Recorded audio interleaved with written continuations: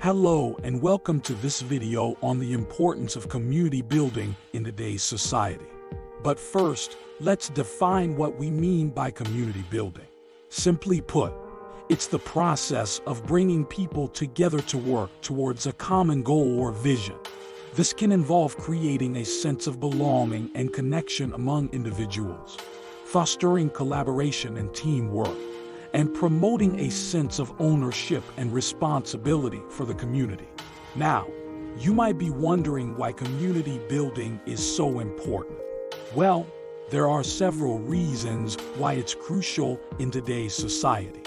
First and foremost, being a part of a supportive community can have a huge impact on an individual's mental health and well-being.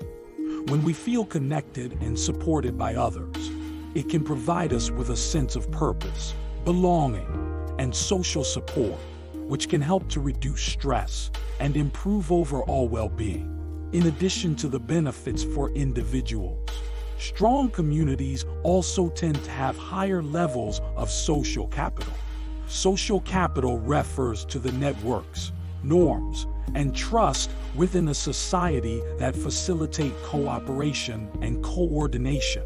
Communities that are cohesive and trusting tend to have higher levels of social capital, which can lead to better outcomes in areas such as education, health, and economic development. Another reason why community building is important is because it can lead to greater resilience. Strong communities are better able to withstand and recover from challenges and adversities such as natural disasters or economic downturns.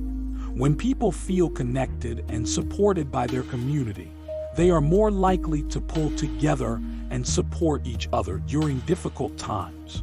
Finally, being a part of a community can give individuals a sense of identity and belonging, which can foster a sense of pride in their community and a desire to contribute to its growth and development. This can create a virtuous cycle where people are motivated to work together for the benefit of their community, which in turn leads to a stronger and more vibrant community.